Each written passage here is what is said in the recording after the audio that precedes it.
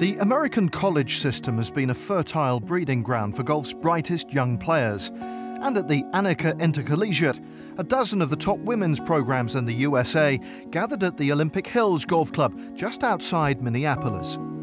The University of Arkansas won the team event, one of several tournaments run by Annika's foundation.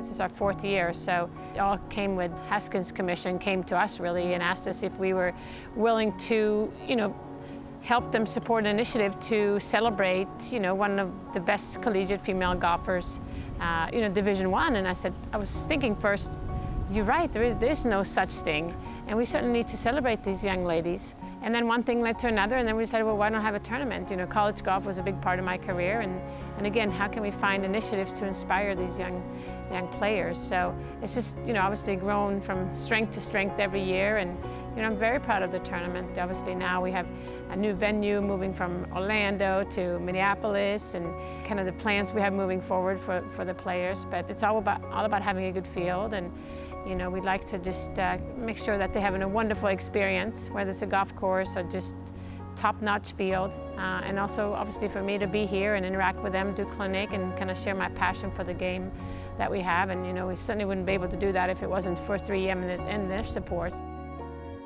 You know, it's pretty special to, to be a part of a tournament that Annika's putting on because she's basically the best female golfer to probably ever live. Um, I'm sure it's arguable, but um, it's pretty special to be invited. They try to make it the number one tournament of the year as far as strength of field. So anytime you get an invitation here, it's, it's very special. Anytime you can not only have great golfers participate in the event, but you also have the, the, the girls being a part of it, them feeling like it's something special is a great thing. Just because it, golf is one of those sports where you've really got to be kind of your own boss and, and you spend a lot of time by yourself and, and as females we don't like to do that we like to be a part of, of teams a lot of times so if the girls can get out here and, and realize how much they love it and how much they can they can be successful on their own and learn that at a, at a young age I think that only bodes well for them to keep it up in the future.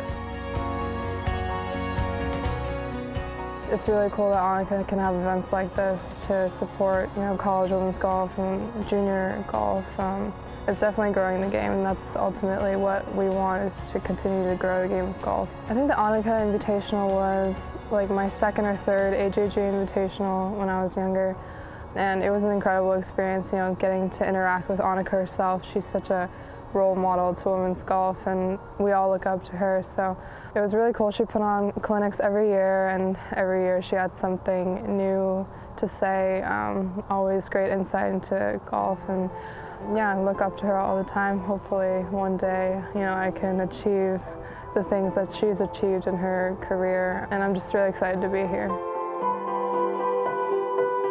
to have Annika's foundation and her tournament and, and, to come up here and host probably one of the most prestigious collegiate women's tournament in the country, I couldn't be more excited. And I, I know our whole staff is over the moon on this. It's uh, a great opportunity to showcase our golf course, with essentially a brand new golf course. I, I just hope that the girls enjoy it and that, uh, that we do a good job for Annika and her team. You know, we're celebrating our 10 year anniversary. So, you know, obviously very excited what we have achieved so far and, and very even more positive about the future, uh, the things we're going to be able to do to inspire the next generation.